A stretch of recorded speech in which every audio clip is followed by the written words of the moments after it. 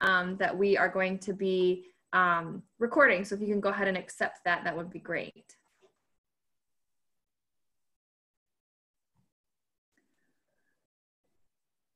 And then Terrell, whenever you want to kick us off, if you want to wait a couple minutes, that's fine. Um, ¿Cómo lo veis? Maybe wait one, or two more. Yeah. I think um, Richard Fletcher is joining us Okay. also, so Looks like he just be great. joined. Yeah. Good. And remember, everybody is, is automatically muted when you come in, but, um, you know, if you want to be heard, by all means, um, unmute yourself. Hey, Richard. Hey, Richard. And you're welcome to share your screen, but if you'd prefer not, that's fine too. I like it better when we share our screen. It makes it really feel like a community, but sometimes the Wi-Fi connections don't necessarily cooperate. So Mhm. Yep.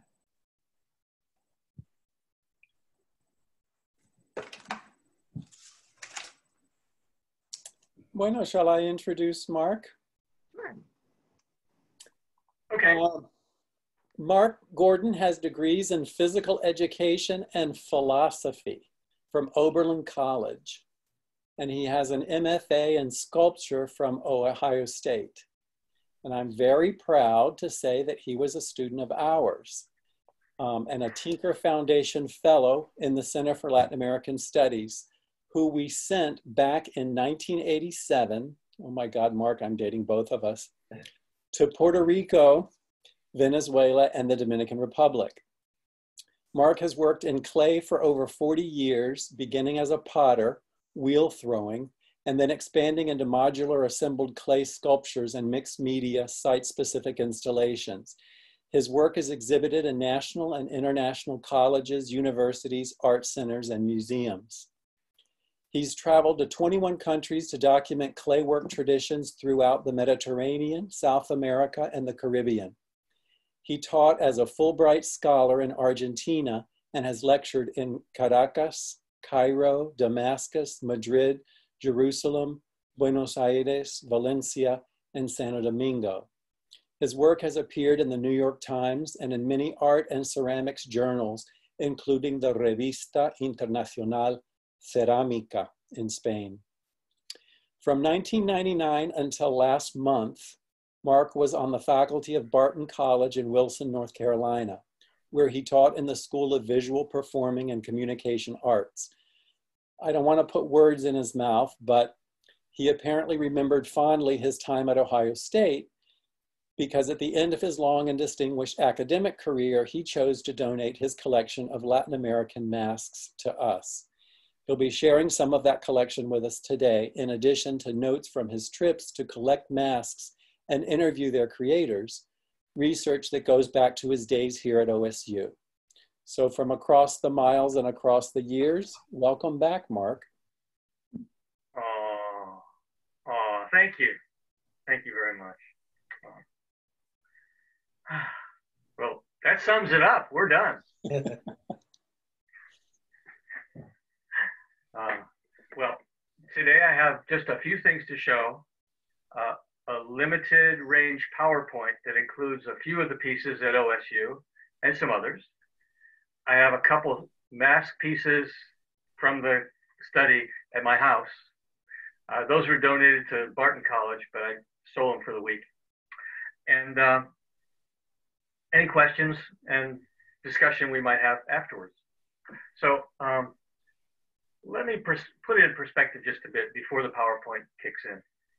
Um, I was uh, taking an elective class in, oh, I guess it was phonetics.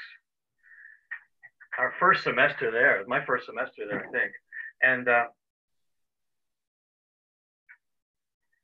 Dr. Morgan said, you, You've been in Dominican Republic for three years. Why don't you go back there and, and do a study? And he showed me a picture of a carnival mask, which I wasn't familiar with. So um, that's in the slideshow, the photo he showed me. And uh, I put together about 12 different grants from Ohio State, Tinker Foundation, Oberlin gave me an alumni research grant. And um, it was 100 days of, of study, uh, I videoed for about 40 hours people making masks. I videoed a few hours worth of uh, carnival celebration. It wasn't carnival, excuse me. It was uh, Corpus Christi, Day of Independence, uh, and just uh, national festivals. So um, let's look at the PowerPoint. I would like you to interrupt if you want. Um, I know there's a delay and sometimes Zoom is awkward, but um, you don't need to save any comments or questions until the end. We're a very small group.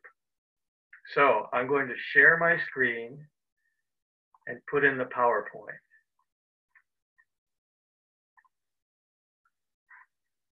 I think I'm going to.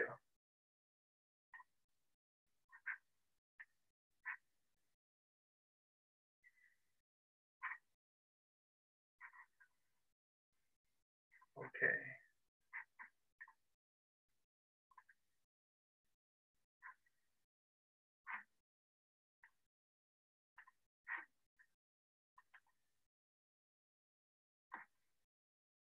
Can you see the screen?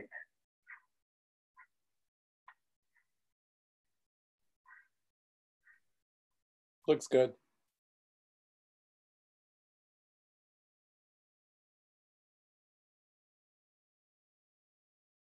Unmute. Can you see the screen? Yes. Yes. yes. Okay. I, as as Terrell said, I'm a potter. I have been for 47 years, and that's what I'm going to be doing in retirement. And um, these are some tumblers in my workshop uh, last month. Uh, let's see if I can make it advance. Yeah. And so um, some of the sculptural work had to do with tusks. I'm not sure, I didn't choose to do a piece about elephant tusks in clay, uh, protesting the, the decimation of the elephant in 1987. But um, I was wedging clay, which is part of the process of getting it ready, and I let it elongate. I was listening to music, listening to music from Ghana. I remember after midnight, uh, about two in the morning, wedging clay, and it elongated into a horn shape. And I kept going and eventually made a series of pieces with a tusk shape in clay. So that had to do with the, the horned carnival masks indirectly. They didn't inspire me at first. And um, in a way, that's my connection. I did spend three years in Dominican Republic setting up a pottery training workshop for youth. Um, jóvenes de escasos recursos, we called it. They were on scholarship. Um, this is my group mixing clay on the right and just a group photo on the left. That That's me on the top left there was. Yes. Um, and so three years there, immersed in the culture as much as I could be as a full-time teacher and designer of the program. And uh, that's where I learned to speak, basically although I've I started studying Spanish 56 years ago. There's the I don't know why the photo's so bad, but there's the photo of the catalog that Terrell showed me. Terrell. And it's an exhibition at Parsons School of Design. And it was uh, that mask that got me thinking there's a connection. And the grant, the idea of the research was not strictly it, it was not an excuse to travel and go back to where I'd been. Um, that was a factor, but um, it became a, in order to prepare for the grants, this is what I tell my students, I told my students, in order to prepare for the grants, I did a lot of research, or sufficient research, let's say. This is made by Victor Justo. He's the one who made the young man who made the mask in the catalog. And this one might look familiar. This was the proposal for the Tinker Foundation grant application. I kind of, I spoke with so many faculty at, OSU, so many. Um, it was my pastime for a whole semester. Um, apart from making ceramics and, and doing the sculpture thing I needed to do, I developed this proposal and showed it to everybody um, and changed it each time I showed it. So tradition and the transformation of styles, documentation and analysis of the horned carnival masks of the Dominican Republic, Venezuela, and Puerto Rico. An artist's response. Now, two things there. When I say carnival masks, I should have put festival masks. As I got into it, I realized that other festivals were a starting point for mask celebrations. And an artist's response, um, truthfully, that was to make clear that I was not doing a formal study. Um, I was doing a study as an artist, and it, it certainly has uh, enriched my artwork indirectly. So there it is. This um, paper, uh, I'll send it, Megan, I'll send the paper to you so you can have it somewhere on file. There were three documents, a bibliography, this one, and just a moment. I might have another one up ahead. This is the interesting part for me. Um, coming from a, a small college in Ohio and going to the biggest college in Ohio 12 years later after becoming a potter, I really made use of all the resources at OSU. And you can see some of the names. If you've been there a while, you might remember some of them. Douglas Graham was the uh, coordinator for the Tinker Foundation. Stephen Summerhill was the dean, I believe, of something. Um, Mike Chipperfield was my advisor in ceramics. Charles Massey is dean of uh, School of uh, Department of Art. Rob, Robert Arnold was dean of the School of the Arts. I, I don't remember everything, and um, there it is. But I spoke with each of these people. It was very um, strategic, and I had a chart, as you see.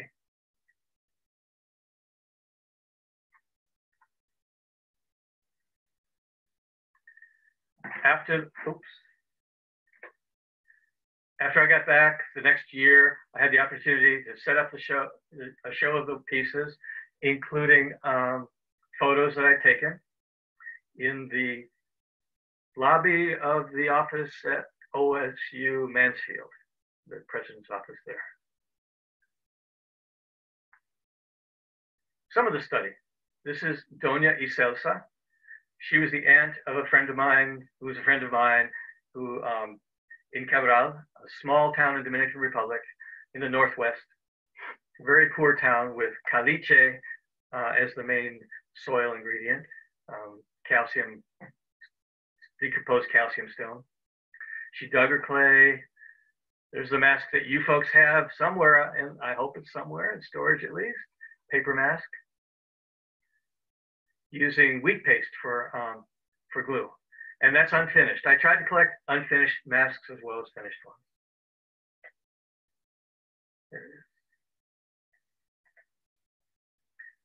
Temistocles from Cabral. He was a doctor, a student, a medicine. Uh, he was going to be a doctor of medicine, which he is. Um, and he learned to make masks from his aunt. I have that mask here, which I'll show you at the end of the slideshow. It's made with crepe paper and it's held up for 34 years, 33 years, uh, more or less. I do appreciate the restoration work done at OSU by Leonardo and, and or whatever crew it was, students and faculty both. It's amazing to me. That's when it was seeing better days. It's a rhinoceros, uh, more or less, used in Day of Independence. And this is the most famous mask maker in Dominican Republic, Felipe Abreu, in La Vega, near Santiago. And you can see this you know, typical, stereotypical, maybe devil face mask in red, horn mask, with cow's teeth. Now, Felipe starts with a clay mold, puts on heavy uh, sugar sack or cement sack paper, whatever he can get, that he soaks in water. Um, I have videos of him talking. I interviewed him. And he said, I get my ideas. I look up in the sky and see the clouds passing. It gives me ideas for shapes. He's a true artist. These are also from La Vega, from a younger um, craftsman. I'm not sure of his name, so I didn't put it in. Um, these are all from 1987. And this is made by Victor Justo, the one who made the young man who made the original mask I saw. And this is the start of a phoenix head mask, a griffin, phoenix or griffin. This is amazing. I think this woman's first name is Maria. Her husband's name Jose, uh, but since I'm featuring her, I put their last name only. Senora Domingos de la Cruz, Dominguez de la Cruz. Montecristi is also near the Haitian border. And this piece uses real cow's horns.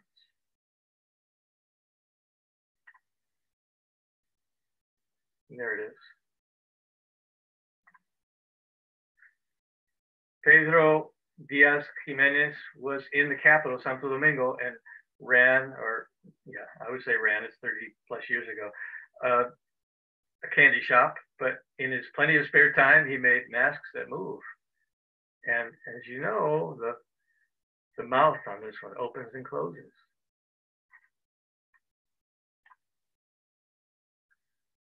I think I have his name in a future slide. Um, and I also have one of the masks that he made in Santiago. On the right is a mask that was, on my right, is a mask that was too large to bring back. I bought it, actually I commissioned it, and then when it came time to take the flight home, um, there was no way to ship it or take it. So it is now in the collection of my ceramic assistant from 1981. And it's one of the family's prized possessions. It's made for decoration more than anything. If it's ever worn, it, it would fall apart.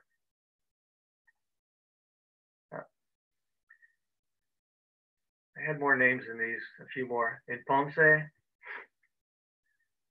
And you see the video camera I bought with, brought with all the way around the Caribbean.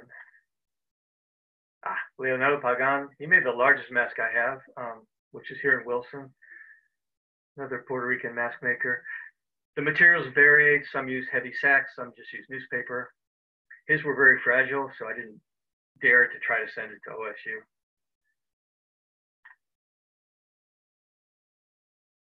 Colorful. Ah, Felix Vasquez, el pescador. And this mask, I hope, uh, made it safely, and uh, it's one of my favorites. it weathered a little damage. Uh, I used to do art in the schools programs in California, then Iowa, and Ohio too, and I in North Carolina, and I'd bring the masks with me and show the students. So they've traveled quite a bit.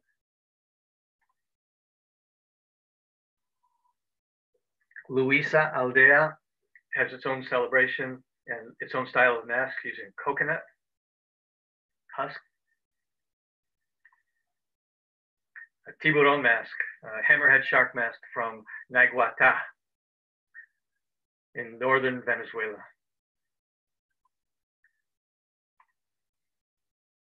Oh, there's a part of the list of the festivals I got to see in three months.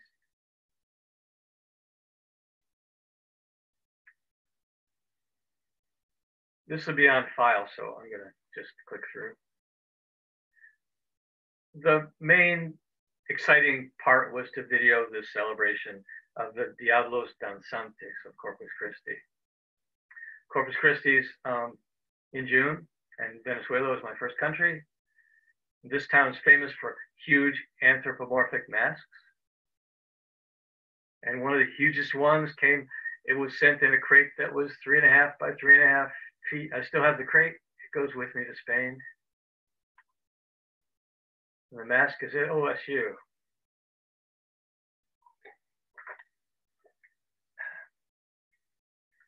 And this, there are videos of the celebration. I didn't, I don't have a converter to, to get the, the recorded, the 30 hours of recorded tape in any format digitally.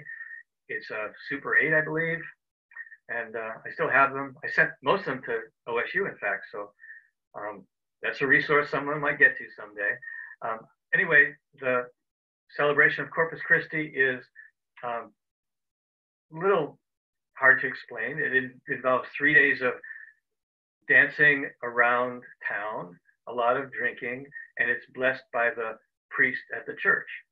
So it's kind of get thee gone, O devil celebration.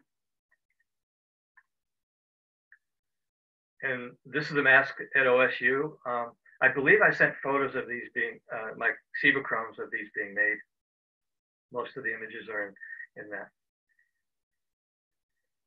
And there they are. It's a big project. These are the molds from which the pieces are made. There's cement in this case. And there's the mask.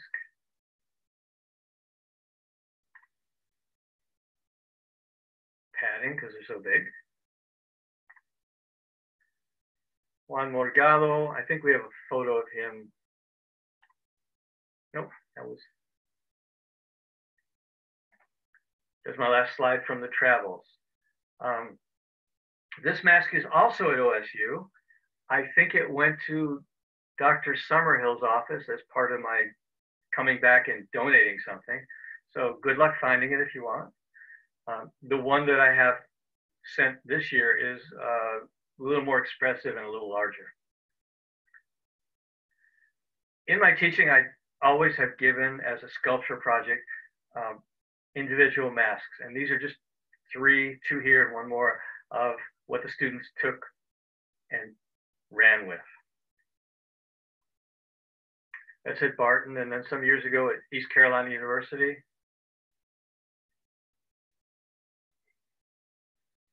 And that is my slideshow. And I'm back live. Are there any questions?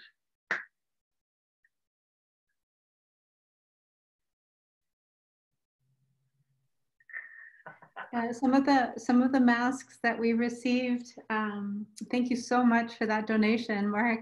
Um, but there's so much more shiny, you know, in the in the original pictures that you have. That's the most striking thing for me. That that some of that shine has um, gone out of it. And um, I think part of our work, well, we just sort of cleaned them, you know. Um, that, that was the extent of what we did for now.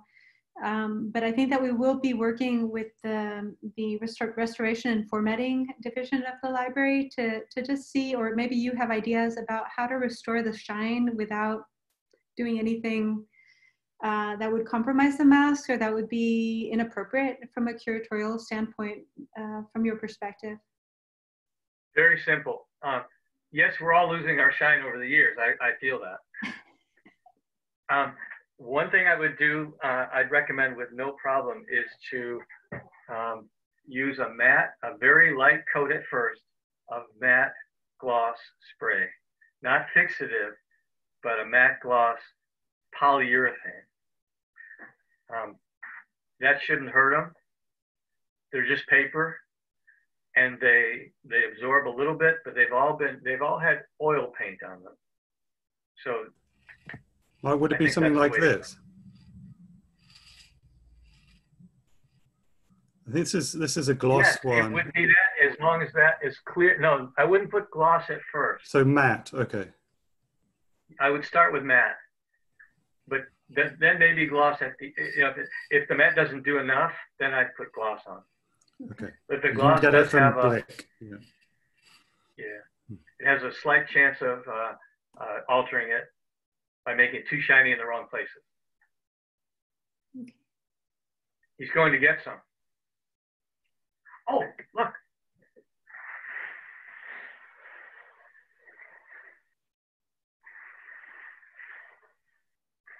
Can you see? Mm-hmm. Look how old and faded it is. wow.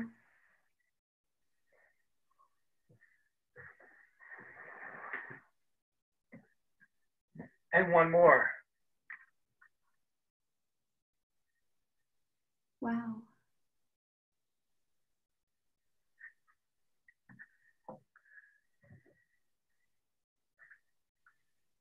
So did you get a chance to talk to people about um, why the horns? I mean, there's so many different types of horns that, that we see in the masks, um, but what, what are the um, general impressions or interpretations of, of the horns?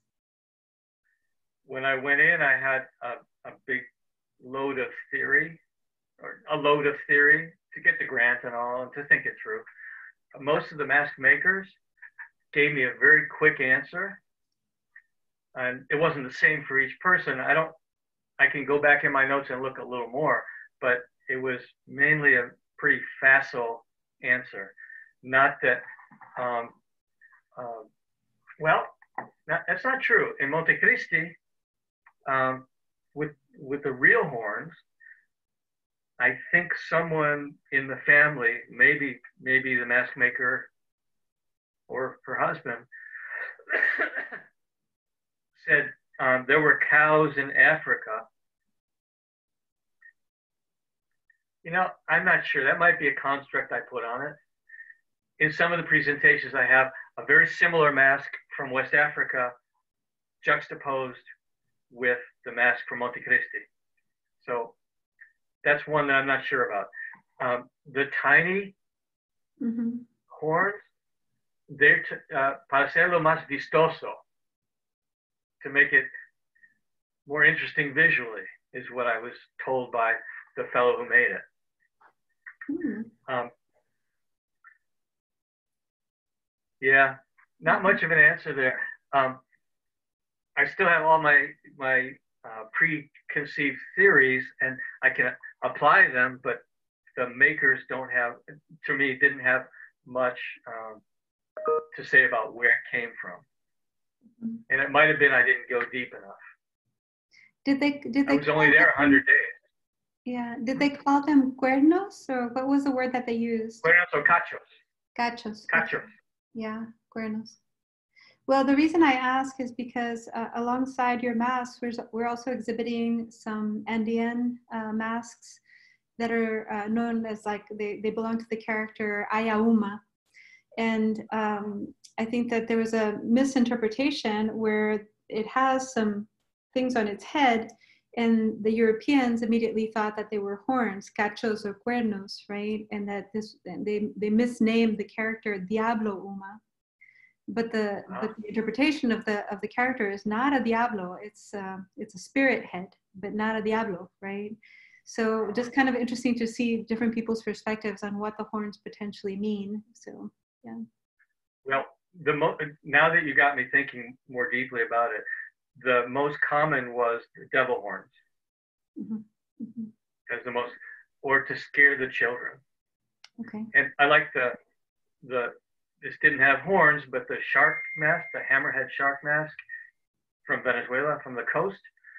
The fellow who made it said, "This is to scare the kids," and he went around and scared his little nephew, um, and laughing, and, and he performed for me in a way uh, saying that this is the, the biggest animal around, the most scary animal. It's to, to kind of get everybody excited about the fear, the little free song of fear during the dance. Thank you. So these are called caretas or cachua. Um, mascarilla, no. Máscaras. Careta is the most um, common name I heard throughout the Caribbean. question for you. So in, in addition to, to the mask and the devil mask, when you actually saw the performance and, and the dance during the festival, did the people carry anything else in addition to the mask to scare people? Yes. What were like some of the, the, the artifacts or things that they used? Because I'm trying to see like maybe the connection, the work that I have done in Ecuador, not only they have a mask for the devils, but they carry all kinds of other things. And a long time ago, they actually had like live snakes and, and anything that would scare people uh, or tarantulas. But you know, there could be anything else, like you said, to to scare the kids. So not only you had the mask and you know everything that takes to make the mask, but in addition to that, they were carrying some other things, like even chili peppers to make people bite on them and, and all kinds of things like that. So I was wondering if, if you witnessed anything like that or, or not at all. Oh, yeah. Yeah, a little bit. In um, Dominican Republic, in Cabral, uh, they carried a whip, and I sent one of the whips with the box. You have a whip, uh, as if it were herding uh, cattle, and they chase each other with the whips. In um, Yare in, in Venezuela, they had a rattle with little horns on it. Um, I'm not sure if I sent one. Um, I could send it if if uh, if I find another one. Um, but it's a rattle, and they use that to uh, add energy. Also, most of the costumers had a complete costume, especially in Dominican Republic, where building the costume would take about a month's worth of time and about a month's worth worth of income in some cases. So it was a complete costume to, including and especially with gloves, to hide the hands because with hands being visible, people could tell who it was. And so um, that's a partial answer. I didn't see anything like chili peppers or tarantulas, um, but it's a great idea. know, in the Dominican Republic, when you get hit with one of those, it's supposed to bring you good luck for the rest of the year. Yes, that's what the, the person who's hitting says. Yes, when I was little, I was told those were made from cow guts, the whips. It is extremely painful. Ah. And, and now in Santo Domingo, I went back uh, three years ago on the Malecon in the capital. There was a, a festival. I think it was Independence Day. Yes, febrero, 27 de febrero. And there were people in carnival garb, complete, the whole Malecon was, lleno. And it, it, it went further afield than, than when I went in 87. Yeah. The the um, whips that Leonardo is mentioning, the acial in the festivals that I uh, study, they take on another meaning, which is that the overseers used to use aciales uh, to um, kind of control indigenous workers. And actually, there's a there are two aciales that that that I have I have one, and then one is with OSU that has like a head, and it's been worn down so much in brass that I always thought it was a snake, right? But um, the person selling it to me, who was very old and had actually, you know, um, been alive during the time of the of haciendas, he said, no, it's a dog. And uh, uh, the dogs had a particular significance just in terms of being used by the hacendados to sick on people, right? so that carries a whole other interpretation in the in the festivals that I do. But the ayauma, the, you know, this horn um, or or you know the one with the prongs on the head, um, also carries the acial, also to scare people and kind of transgress the festival space. Other characters kind of stay in the festival space. But the ayauma in particular is is like this very ambiguous. Like sometimes he imposes control, sometimes chaos, and uh, when he transgresses the festival space, all the kids run, everybody runs. The other thing that they carry often is um, the, what do you call it, like stinging nettle? Yeah. Um, and they, they threaten to, to brush people with the, with the stinging nettle also. Mm-hmm.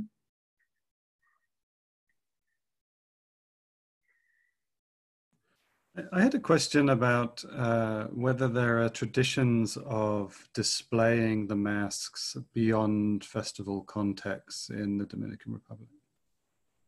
There were no traditions of that, but there was a museum there is in a museum. Santiago. Mm-hmm. There was. Oh, okay. Um, and I have the, the name of the owner of the museum because it was private, and he's written about it. Mm-hmm. Uh, Fradique Lizardo.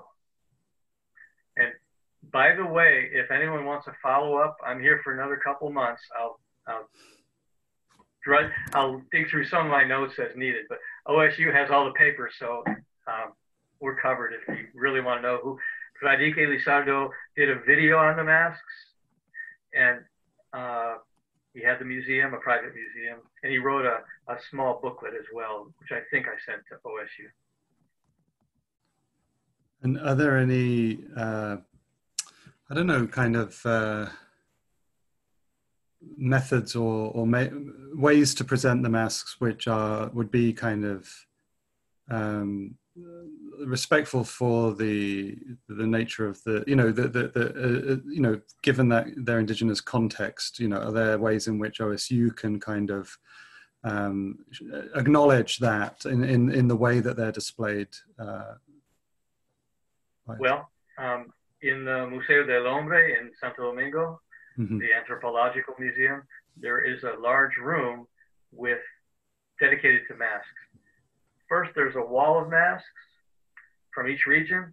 And then there's a vitrine, a very large one, with full, some full, full scale figures with masks and costumes.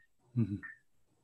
When I went three years ago, or four years ago, it was very, very neglected, but originally it must have looked very vibrant. And uh, mm-hmm. that that's a lot of work because not only do you need to get the mask, but the costumes.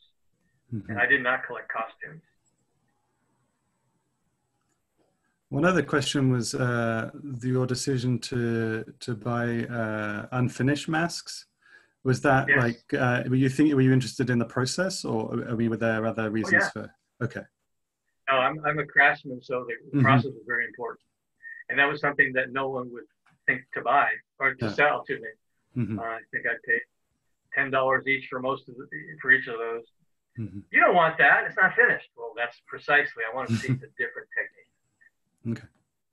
Thank you, Mark.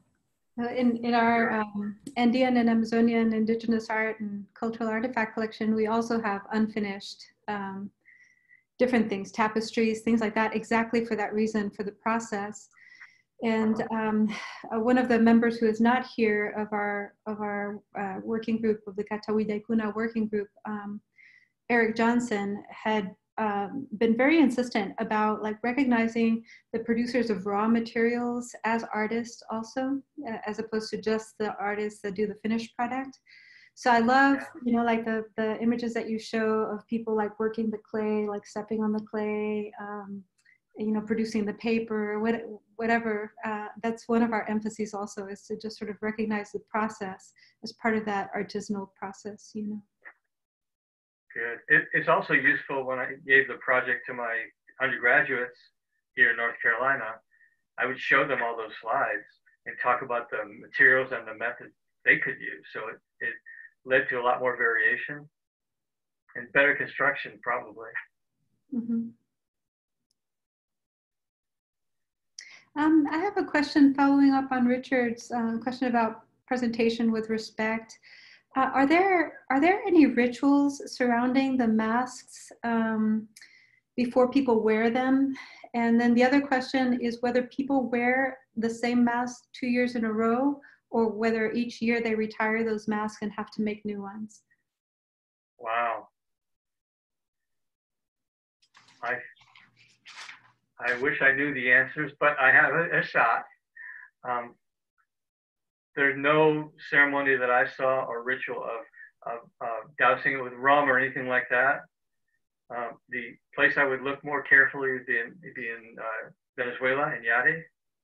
Um, that was, those were um, blessed, the dancers at the beginning of the festival were blessed by the priest using um, holy, holy water. So in a way, that's, that's the only answer I have to that. The other mass, no and I believe they, in mainly in Dominican Republic, in Puerto Rico, people use the same mask more than once. Now, another thing that brings me to is that the masks have become a lot more complex over the years, a lot more uh, heavily decorated, and new elements are included. Um, plastic toys, mirrors, um, I have more slides of that stuff too, but I want to keep it manageable today. Um, but um, this is 1987. In 1970, this would just be smooth.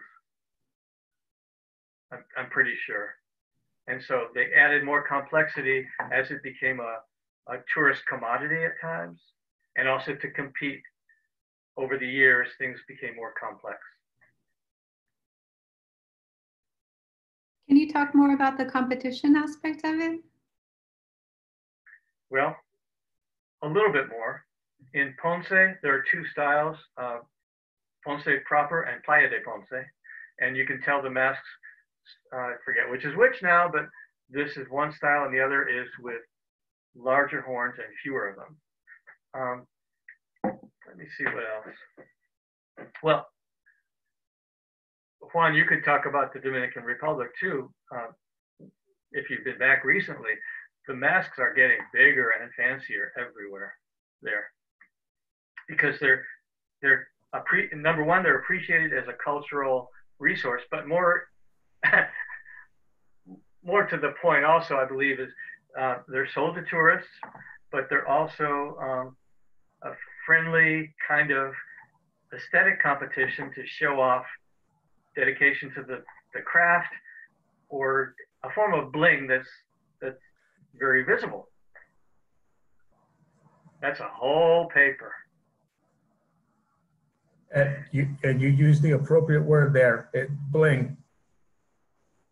Yep. I know, especially in La Vega, and, and they, they take those Diablo Cojuelo masks very seriously there.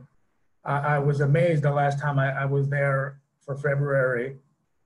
It's the, the, the, the, from the, from their head to their toes, these, these outfits are just incredible. It's, I, it, it's amazing that people make them by hand. Thank you. Yeah.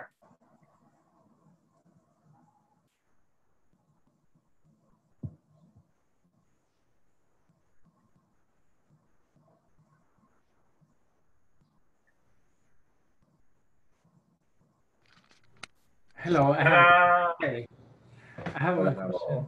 Um, it's Sure. very interesting to see all these masks. Uh, I come from Bolivia, and we also have a very important tradition of masks in the folklore. In the folklore, but something I learned, which I'm not, uh,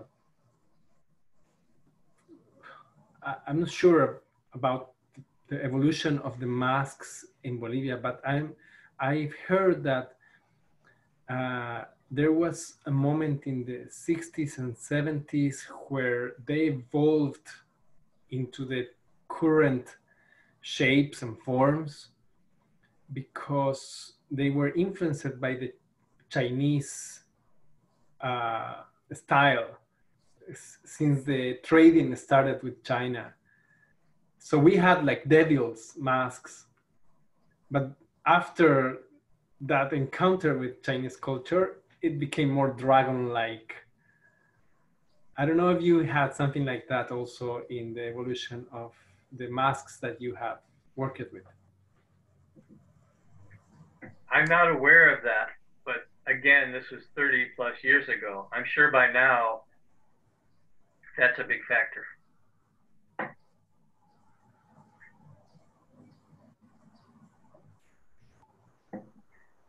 And that's the disadvantage of being an artist view. I'm not an anthropologist and I didn't dedicate enough time to really have good conclusions or follow that train of thought, which would be fascinating. Thank you. So um, I wonder, Richard, if I can invite you um, to maybe talk a little bit about how this donation inspired the class that you taught this semester, d- delving into more theoretical, more global sort of approach to masks. Um, I just found that fascinating, uh, and I hadn't heard much about how your class turned out. So, can you share that with us? Sure. So I was teaching uh, two classes last semester on one on writing art criticism and another on uh, philosophical problems in the arts. And uh, as part of some research that I've been doing uh, about uh, this, the legacies of this exhibition that I'm um, kind of unlearning from uh, Documenta 14, which includes a lot of indigenous practices uh, um, and indigenous artists from around the world, a kind of global indigenous network of artists. Uh, one of the big questions that was kind of um, coming to the fore was this question of kind of mediation, um, and especially the question of kind of white settler mediation, um, and especially uh, questions of um, what is uh, in the philosophy of art class kind of what is art? Like how do we define it? And uh, kind of beyond the fine arts. So i i chose the form of the mask as a kind of uh, uh a a form that would um, go through both classes and both classes had uh, to make a mask at the end of the semester as part of their investigations, either into writing, so questions of um, writing as pseudonyms or what kind of maskers we, we, we take, how to like um, think about writing as yourself or in a persona and these kinds of questions. So kind of symbolic conceptual masking. Um, and then in the philosophy of art, thinking through different media, like how to make a mask out of photography, how to make a mask out of words, how to make a mask um, uh, as a sculptural object, these kinds of questions. Um, and throughout both classes, I'd have these sections of reflection um, that were um, uh, weeks um, uh, uh, focused on, on, different elements of the mask. And uh, so the first section was about colonial collections of masks and the question of the role of the mask in museums uh, and uh, questions also of how um, issues of primitivism in, in modernist conceptions of art making. Uh, so the mask as, you know, a specifically contested uh, site for discussions of colonial uh, violence and appropriation. Uh, the second um, session uh, was about performance and masks and, and, and masks and theatre that went back to some of my own training in ancient Greece uh, and questions of mask, uh, but also looked at kind of Noh theatre in Japan as well. Uh, the third section was uh, um, uh, about uh, this particular question of mediation and how masks can take on digital forms as well. And then the fourth section was really about embodiment and, and questions of masks in, in performance, masks in ritual, and these kinds of issues. So I ch- and then of course by the time I taught the fourth section, the COVID crisis had happened, and the mask had become a whole had a whole other cultural formation um, because of because of that crisis. So, and I think that that really impacted the students in the the masks they ended up making. Um, I wanted them to come to class wearing their masks as part of uh, a final project, but they couldn't do that because we were remote by that point. Um, so I would get there. uh, and so many of the masks were kind of more COVID inspired than through some of the traditions that we've been looking at throughout the semester. Um, and uh, the other thing is I've been using this book, so I'm just reaching across to it, uh, that was, it's a really kind of traditional um, art historical account of the mask, um, which is Hans Belting, uh, Face and Mask, A Double History. Uh, and I, I used this as a kind of foil for a lot of the class because um, uh, it goes through certain topics of, of, of, masks and kind of cultural formation. And actually, his main argument is about death and the mask, um, and how the mask is just in all its forms, whether it's in photographs of masks, films of masks, performance and ritual, uh, the primitive, primitivist appropriation of masks. So much of it is to do with a, a human dialogue with, de- with death. Um, so that's one of Belting's arguments. And again, that really came to the fore with the COVID um, crisis too, because the mask as kind of barrier or protection um, took on a whole other valence. So uh, a lot of this was, you know, I didn't, you know, I, I, I and I put all this on my blog, my Minus Plato blog, so you can find the different sections and the readings that we did for each section of, of the, these topics. So it was very kind of conceptual, but the main impetus was what is an art form that um, breaks through traditional fine arts associations with painting, drawing, photography, video, these kinds of things. And what what what is the mask? Um, and what does it mean to wait, make a mask? What does it mean to wear a mask? So very basic questions um, that, that were there. But you know, Mark, if you were, if we had our conversation with my students. I think it would have been uh, really incredible for them not only to see your archival images of you there and the the, the makers there, uh, but also um, I, I think that I think I'd made this whole discussion a little too theoretical. And so I think they kind of hungered for a hands-on how to make. So I bet they would have had questions about, well, how do you do that? Or like, how does that work? Is that just paper, you know, actually wanting to go into the making process uh, a lot more. So I do regret that we didn't have Sorry, I missed it. Yeah, I'm sorry too. Um, but yeah, sorry I took a bit of time to explain it. It's a long uh, project, but I, I, as I said, the strange thing was this feeling of culturally the the figure of the mask transitioned at that at the moment within the course, and and I mean it's almost like the students had this kind of sense that I was doing this on purpose. But how could I have known that the the the, the whole the whole cultural conversation around masks and mask making and what it means to wear a mask would change. So, you know, I don't know what their I mean, I have some feedback from the students about that that particular valence, but it was it was it was we really struggled through that you know that that issue. Um, well, well, thank There's you my so message. much, Mark. I know that you've got to get going. I want to be cognizant of your time. I know we told you that we'd have you out of here by 225. Um, I just send everybody my excuse. I have a dentist excuse. I'll be wearing a mask. um, Thank you. It's been lovely.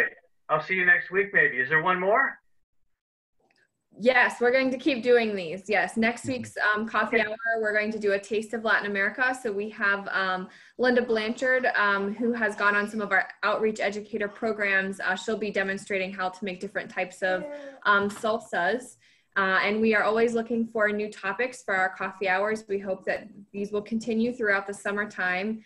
Um, and I know, Mark, you'll be living in Spain, but hopefully, when we all get back to campus, um, we will be able to continue with some of our plans, working with Michelle and Richard uh, and Leonardo and uh, our colleagues from the libraries to do the mask exhibit and really uh, showcase those masks finally to students and to do some programming around them. Um, we were so Thank you. disappointed that was all canceled. So Thank you. Bye, everybody. Thank you so much, Mark. And, um, Mark. maybe uh, un compromiso for for, the future is um, we also have, oh, there he goes. I'll tell him later. Oh, no, there you are. Um, we also have a collection of uh, ceramic, uh, Amazonian ceramic. And so we're fascinated by your pottery work um, as well. And maybe at some point we can arrange to do that again. Um, Seguro que sí. I know that you have to go, but I wanted to see if other people can stay and just run something by Leonardo and see if he has that video for us as well. Bye, Mark. So, Leonardo, I had a question for you, which uh, unfortunately Mark has, has um, had to go, but um, uh, I was looking at another piece by uh, John Nunley. He works at, in St. Louis and uh, did a whole catalog on masks also. But the framework that they use is more about transformation, right? And um, what we see is that the behavior of the wearer of the mask changes in performance. And I, I think that you've probably observed that um, in Ecuador uh, for sure during the, during the, Diablada festival. And I wonder if you can talk a little bit about like how, how people behave as they're wearing this mask. What are they doing? What is the how do they embody basically the character that they're wearing?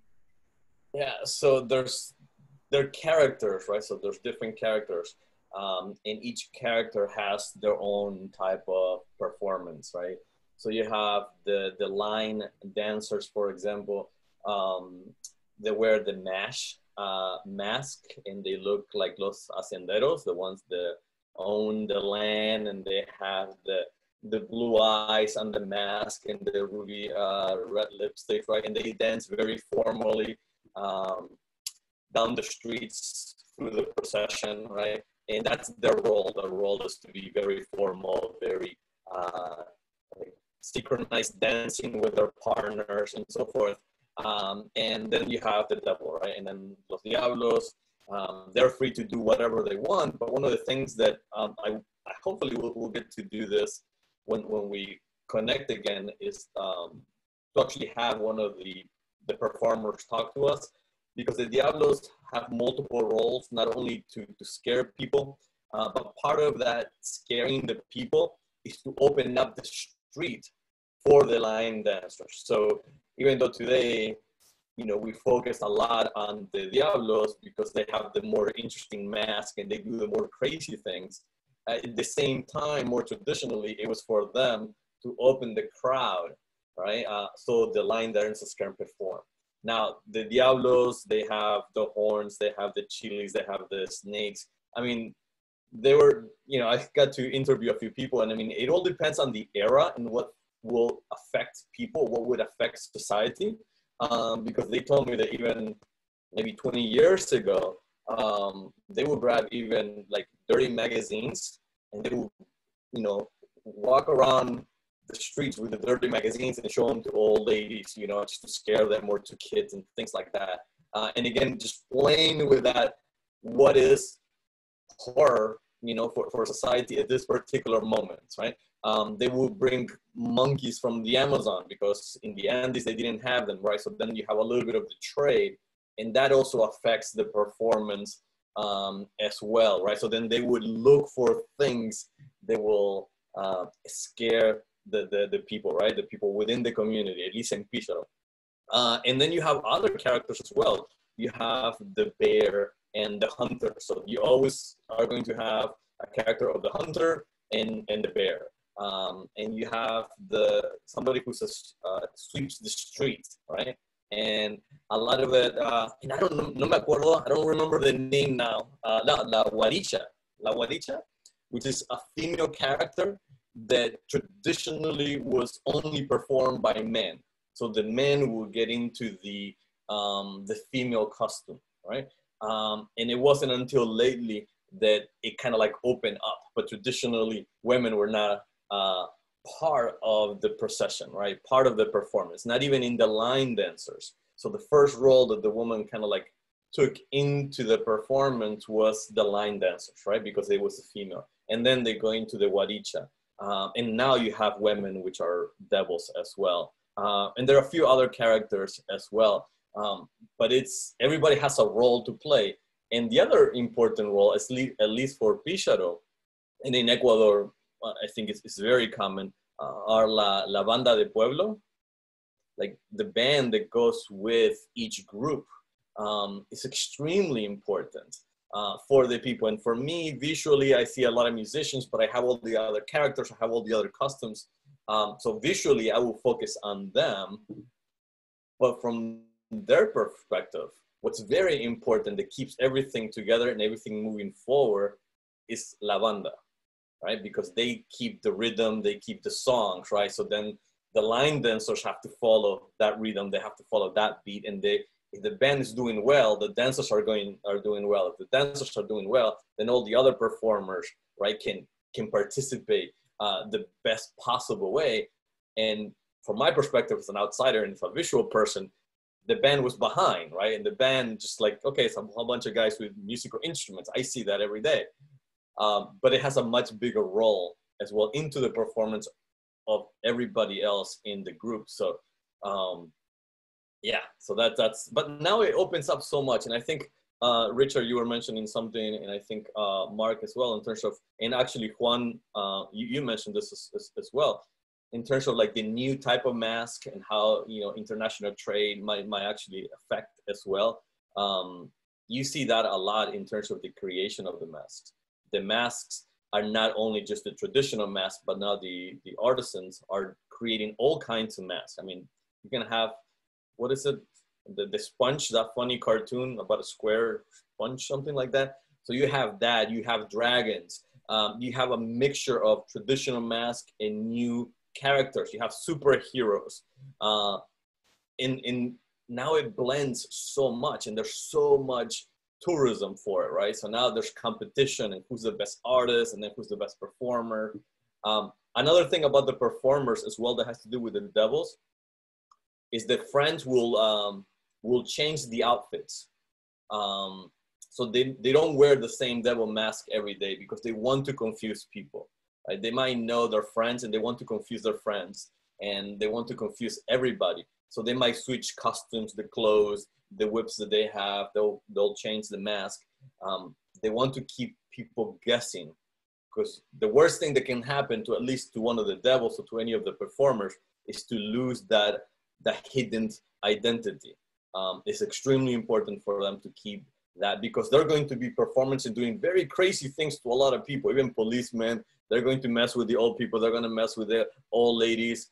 Um, El Látigo takes a very phallic um, performance as well, and so it, it gets it gets well, you know very interesting. So sometimes to protect themselves as well, they want to keep that uh, their identity secret. Um, so then there's a lot, you know, how do you do that, right? What do you have to do to be able to keep yourself hidden? And you can change costumes and do different things. Leonardo, can I just follow up on, on that? The uh, modern updating, I have this example of this here. I don't know if you can see. Yeah. Uh, so this is a, a, really interesting story. This is actually an artwork by uh, a photographer called uh, Will Wilson. And what he does is he takes photographs of indigenous artists wearing or engaging with the work that they already do. And so this, um, the, the use of the stormtrooper with um, um, patterns from the Pacific Northwest, um, from the Haida and from the um, uh, uh, cultures, uh, comes from an artist called Andy Everson. And he, so it's, it's the artist Andy Everson wearing it. And he has, I don't know if you can see, kind of, yeah, uh, um, yeah. uh, the the rattle there, and and then the uh, this kind of thing. So he's wearing this in relation to the uh, to the patterning that he's done. So it's a very complex um, engagement between the photographer and the artist uh, at the same time. But yeah, the the the stormtrooper. Um, yeah, that's pretty. My, awesome. my son likes it. Uh, that's why I brought it back from a, an exhibition. I stole one of the uh, cardboard cutouts of it. So, um, thinking about um, presentation, um, Leonardo, the idea of bringing in a performer via Zoom or something like that um, as part of the discussion and uh, event, it sounds amazing. And also, now that you mentioned, I mean, this is um, kind of a um, repeating mistake that we make, right? Like where uh, we focus on the visual and the the aural is like sort of lost. So thinking about playing banda music, you know, to create like more of a of an environment for the masks uh, sounds also pretty amazing. You know, I love I love those uh, components just to have a more holistic thing. You know, uh, recognizing that we are the the performance is so key that we're kind of disembodying these masks mm-hmm. from their dynamic, right? Um, yeah it, it's it's a lot more than just the visual it's the behavior or the artifacts uh, the clothes el atuendo um, the, the music right the paste uh, and then everything else that you add to it in, in modern times as well that makes it more complex but it also makes it very interesting to kind of like understand and go in a little bit deeper to notice those changes mm-hmm. um, i think that's very fascinating um, mm-hmm. because it's going very fast. It's happening very fast. Mm-hmm.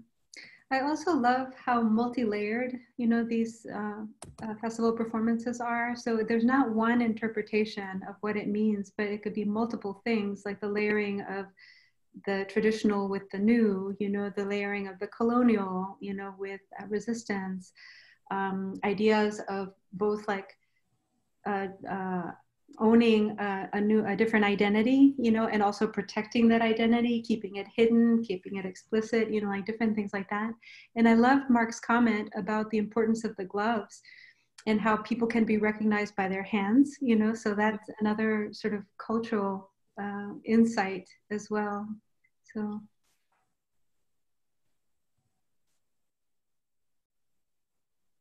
So I don't have the, the video with me. So Megan, I don't know if you found it. Um, I did. Um, let me see. I can.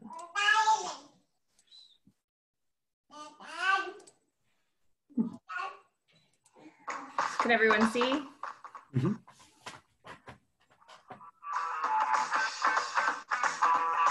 The music doesn't match.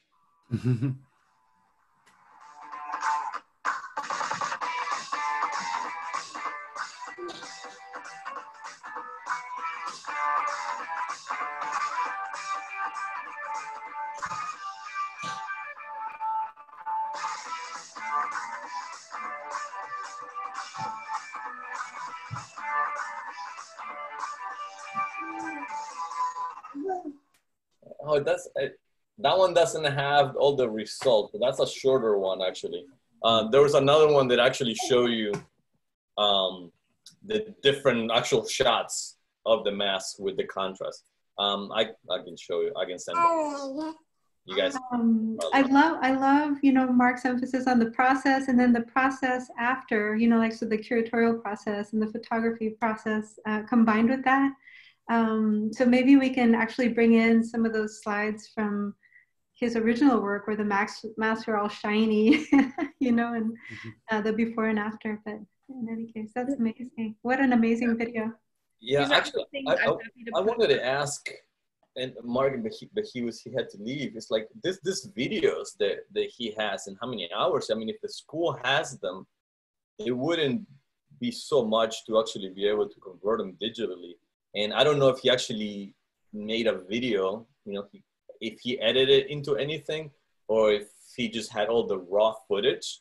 Um, but that's something that personally I would love to just watch and, and, and see what's there uh, because I'm sure that, that that not only can be digitalized, but also just to have it is, is, is a way to, to present something, a couple clips from that, from the festivals, from the uh, people making them. Um, I think that would be also helpful and so it's easier to access right? Because i think most most people are not going to use you know a super 8 right? Where are you going to have a super 8 recorder now? But having them digital would be a, a, good way for students to, to access them. And if you do like a, a two minute less than five minute clip edit of highlights and things like that at least it gets people uh, involved or an easier way for people just to access it. Like, okay, I want to see what else is there um, what else is in the videos, right? And they could do something else as well uh, to add to their research. Mm-hmm. Well, uh, so I think we have those. Um, Megan, are they still stored at the Mershon Center? Is that where they are? Yeah, so we have them. And um, yeah, absolutely. That would be amazing. Uh, yeah, we'll figure out how to get them to you, Leonardo, because if you're interested in, in doing that, that's something that would really be beneficial and that I personally don't have the ability to do. So that would be incredible.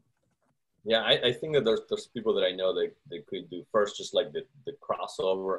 Um, but I think yeah, if there's not like a final project that he presented, um, then going through them and just kind of like have some highlights or, or just some a little bit of background information on them could really help um, let people know what's there. Amazing um, as a as a resource. Yeah. So this gets us really thinking about like the event. Uh, we don't know when that will be. Um, it's been postponed. Um, but eventually, like the, the exhibit at the Thompson Library combined with a panel discussion with both um, experts on Europe, uh, the Americas, different time periods, you know, just to sort of think about masks more generally. Um, and as, as, we, as we think through all the resources that we have and how rich the material is that Mark uh, donated, not just the masks, but all the accompanying notes and videos